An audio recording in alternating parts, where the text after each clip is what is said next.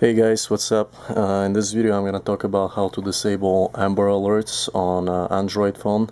In this particular case this is a Samsung Galaxy um, S3 and recently uh, I started receiving those Amber Alerts which are pretty annoying. Uh, basically every few hours uh, you would get a notification and it can get uh, quite annoying because they're a duplicate of the same notification so I'm going to show you really quick how to disable those um, alerts.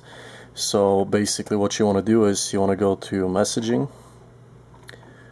and then uh, you want to go to settings which on an Android phone is going to be right here.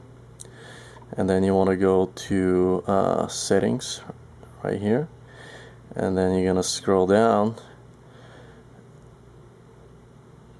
And then you're going to see uh, emergency alerts right here.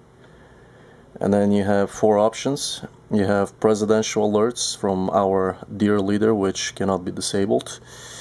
Uh, extreme alerts severe alerts and amber alerts. Uh, you can uncheck those three but like I said you cannot uh, uncheck uh, our dear leaders uh, uh, presidential alerts. So that's how you do it. Once you uncheck that um, uh, basically to automatically save and you won't get those annoying uh, Amber alerts anymore. That's all.